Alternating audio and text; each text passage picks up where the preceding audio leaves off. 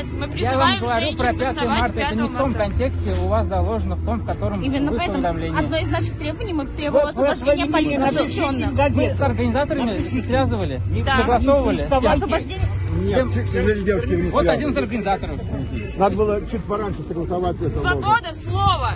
Согласен, но у нас только в стране. Вот в этот котором заложено. чиновник Что не не так в дает. нашем контексте? Освобождение политзаключенных треб- требования, которые мы Да, в этом митинге есть.